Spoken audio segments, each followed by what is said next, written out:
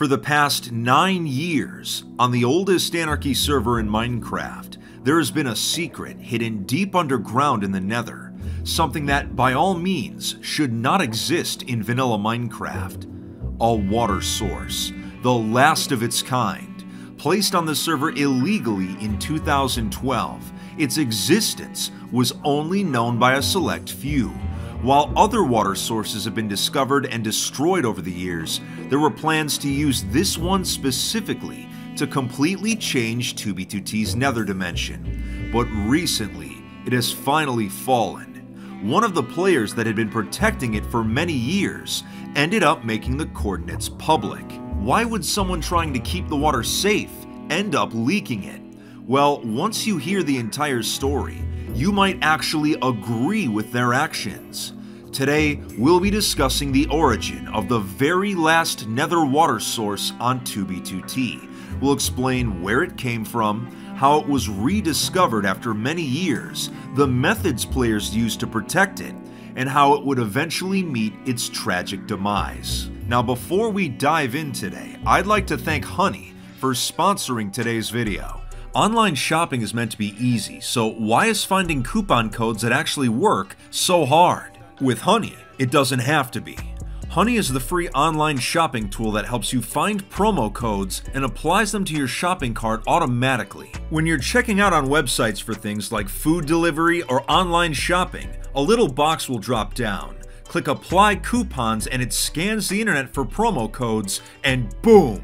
You just saved money. Online shopping is still at record highs, so it's a great time to look for deals. Honey supports over 30,000 stores online. If you don't want to waste money, make sure to get Honey. It doesn't cost anything, finds coupons with a click, and also works with PayPal and Venmo. It's legit. Get Honey for free at joinhoney.com slash fitmc. That's joinhoney.com slash fitmc. Now then, let's get started. So where did the last water source come from? Well, much like other ones we've covered in the past, the earliest record of players placing them was 2012. Anyone that had backdoor access to the server was able to give themselves water source blocks directly, bypassing the need for a bucket and preventing the water from evaporating. Some notable players to use this method were Pop Bob, Police Mike, and Harblax, among a few others. The creator of this specific source, though, is unknown, but whoever it was, was definitely trying to keep it a secret. They put it deep underground and completely covered it with netherrack. It was surrounded on all sides by lava, making it harder to see by using x-ray. This technique ended up being incredibly effective. Despite the water being located about 2,000 blocks away from nether spawn, it was concealed enough to survive for a very long time. For many years, as server events would unfold and groups would rise and fall, this puddle slept peacefully the entire time. But in 2016, during the height of one of the server's largest wars, a player that would eventually become the water source's protector joined for the first time. His name was Courier 6. Wanting to uncover the server's history, he began exploring as much of the map as possible. In a short amount of time, he became quite the base hunter. He eventually became so good at it that he started finding places that were unknown to the general public. He eventually became friends with a fellow base hunter named 4Pilot, and together, they began a project to follow every single chunk trail in the nether. They circled spawn in a 100,000 block radius.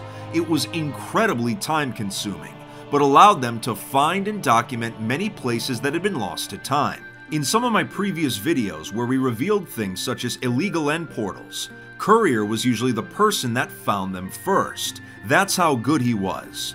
In 2018, he would stumble upon his first ever water source in the nether. It was located on the roof, a remnant of the old days. Going directly onto the nether roof was no longer possible due to server plugins, so there was not much he could do but admire it. He kept the location a secret and wondered if there were other water sources as well, since his ability to find the most secretive places on the entire server had earned him much respect in the community. players would often come to him with information and data that helped with his exploration. In 2019, a player named Lamp would privately share a world download with Courier. It was all of 2B2T's Nether, going 21,000 blocks in all directions. They used a program to analyze it and discovered that there were several water sources completely undisturbed in the region surrounding spawn. As you could guess, one of them was the single source deep underground, right next to Nether spawn. Despite the area being a war zone, it had been hiding there the entire time. Courier and his associates decided they would keep the locations a secret for as long as possible, since they could not be replaced if destroyed. They also wanted to use one of them to eventually flood Nether Spawn with a giant cube, as once the server updated, water mechanics would allow them to do this with just a single source. In a way, they had become the guardians of Netherwater on 2b2t, but their job was about to get a lot harder. A different group of players had discovered the nether water that was hiding on the roof. They would break the bedrock underneath the source, allowing the water to flow down into the area below. Using a large aqueduct system, they would go on to found the base Wässrige Hölle, a German phrase which translates to watery hell. Courier and crew soon discovered that this base had been built.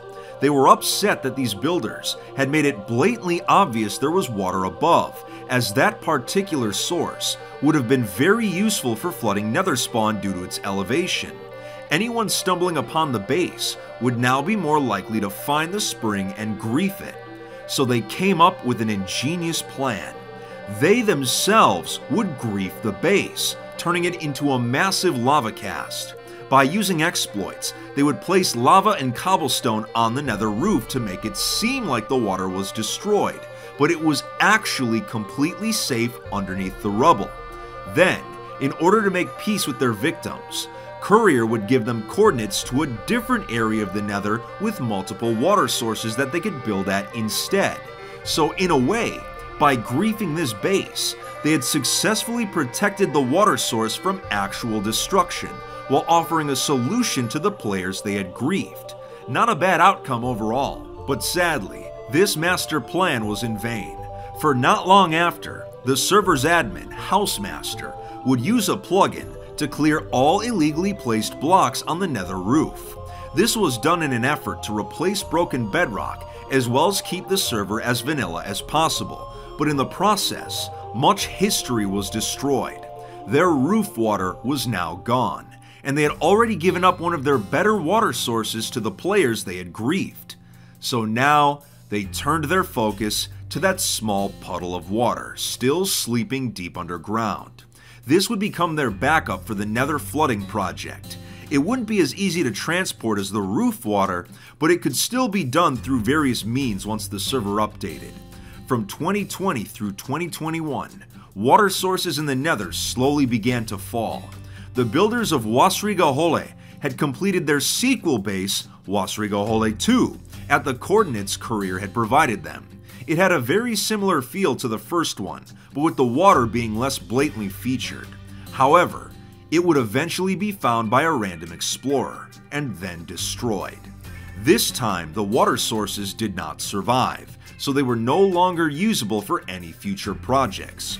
All remaining water was kept as secret as possible, but this wouldn't last forever. As world downloads of 2B2T's Nether became more available, water sources had become easier for the general public to track down, if they were looking for them.